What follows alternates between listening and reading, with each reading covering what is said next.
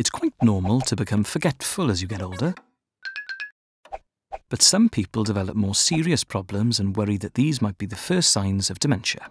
There are many different reasons why you might be having memory problems, things like stress, depression, and vitamin deficiencies.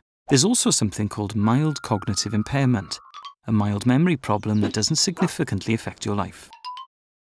Dementia is memory loss that gets progressively worse.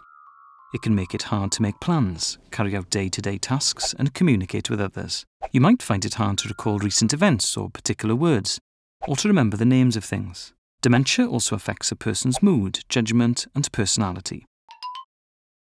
Alzheimer's disease is the most common cause of dementia. Damaged tissue builds up in the brain forming deposits called plaques and tangles, which can make the brain cells around them die. Vascular dementia is usually caused by blood vessels becoming damaged or blocked. This can lead to small strokes or brain cells dying. At the age of 65, about 1 in every 20 people will have dementia. By 80, about 1 in 5 of us will have some degree of dementia.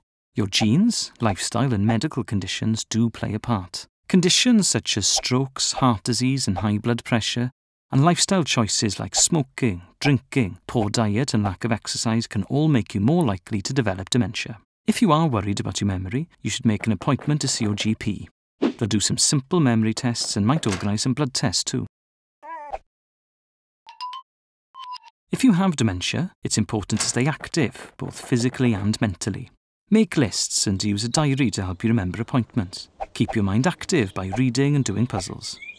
Make sure you eat healthily and get plenty of exercise. To find out more about dementia, visit the Royal College of Psychiatrists website.